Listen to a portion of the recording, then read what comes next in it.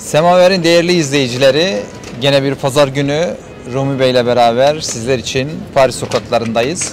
Bugün gene ilginç olduğunu düşündüğümüz, bilenlerin iyi bildiği, bilen bilmeyenler için eee, araştırıp eee, sunacağımız Türk mahallesindeyiz. Yani burası evet eskiden daha çok Türklerin ve Kürtlerin yaşadığı, ya Türkiye'den gelenlerin yaşadığı Türk mahallesi olarak bilinen e, 10. Paris'teki Strasbourg Saint-Denis.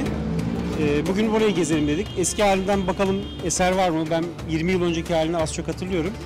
E, Biraz değişmiş gibi gördüm ama birlikte gezip bakalım diyoruz. Burada hemen kapının, e, portun önünden başlıyoruz çekimimize. Ee, bu e, 1672'de yapılmış şehrin kapılarından biri.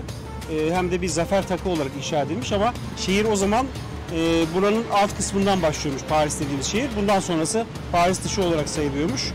Ee, böyle bir eserle başlıyor ve bu arkın girişinden itibaren bir cadde var. Ee, orada e, Türk lokantaları, ondan sonra terzi dükkanları, manavlar, e, kasaplar bunların olduğu mağazalar vardı.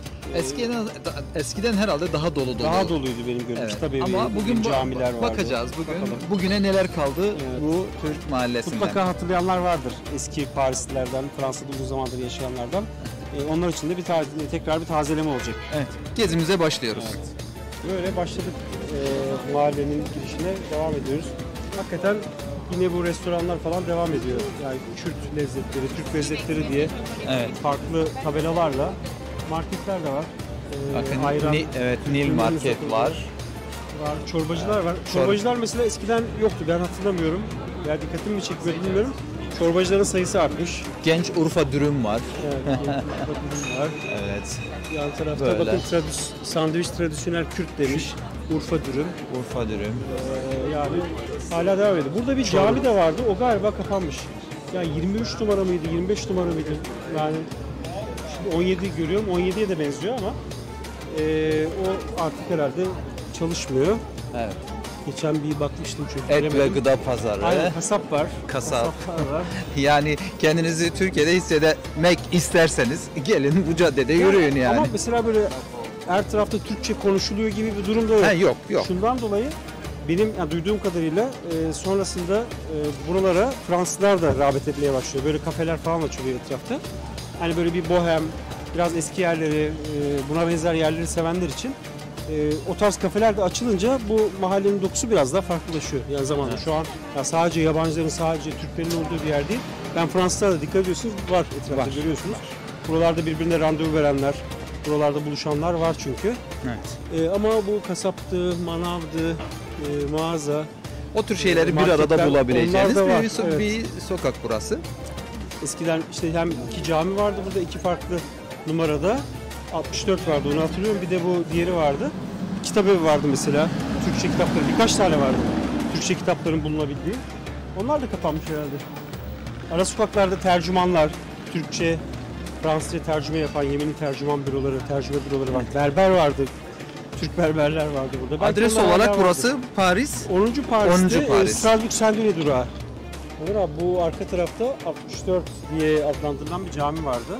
Türk camisi. Ben ya Türk camisi, milli görüşe yakın bir cami.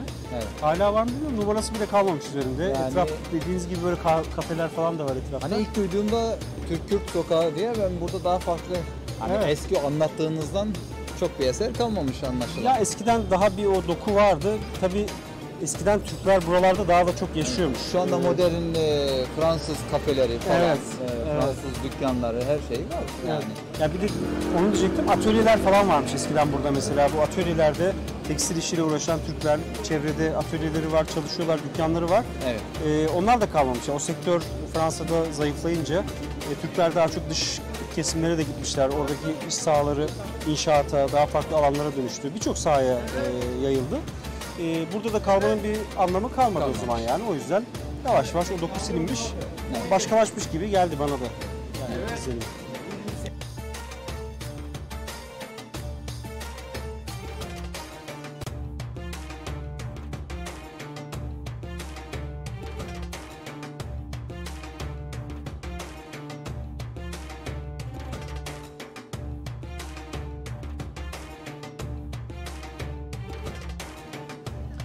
Evet Rumi Bey, Türk Mahallesi'nin sonuna geldik.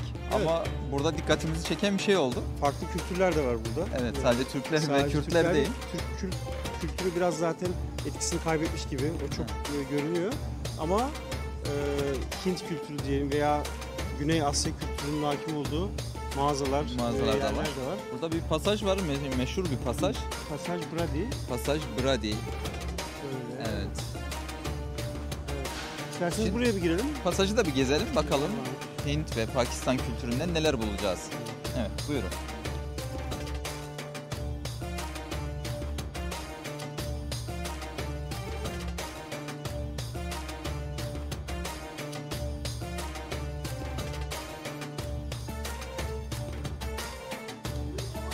Evet, dükkanlar yavaş yavaş açılıyor. Biraz geç açılıyor.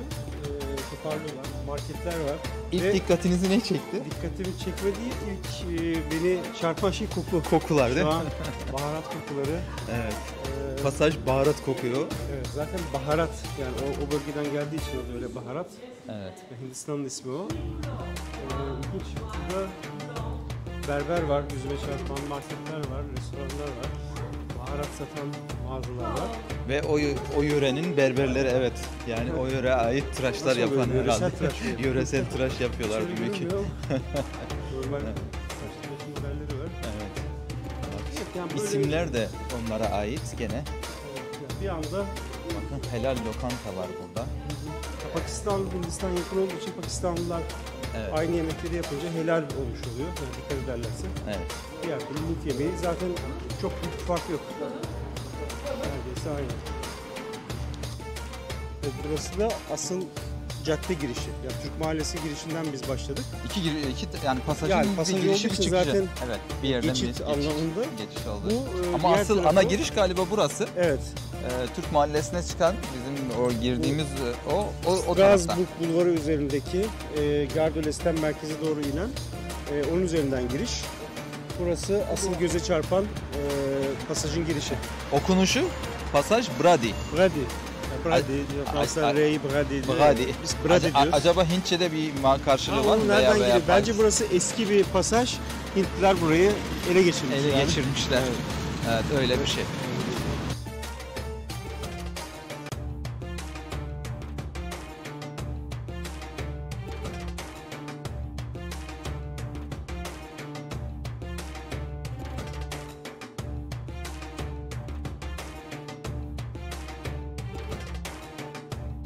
Evet. Ömer abi bu Bollywood sanatçılarının da fotoğrafları görüyoruz. Yani. Posterlerini. Yani Biliyor musunuz az çok, çok çok. Bollywood'u? Sever misiniz? Yani e, Bollywood'la şöyle bir hikayem var benim. Su- Sudan'dayken e, sinema, Sudan'da da sinema var. Ama bütün filmler Hint filmi Ha. ve e, bu e, bu şahıs bu Şahruh, sana evet bu artist mesela Sudan'a geldiği zaman devlet başkanı gibi karşılanıyor ya. O kadar meşhur ki orada biraz ileride bir, bir bayan daha var. O da gene böyle meşhur olanlardan. Tabii şu anda yaş, Bu yaşlanmış. Amir var mesela meşhur. Evet. Çok, ben de birçok filmi izledim onun. Evet. Güzel filmleri var. Şu anda yaşlı tabii böyle genç değil. Bu genç hali fotoğrafı. Evet. Gezmeye devam edelim bakalım.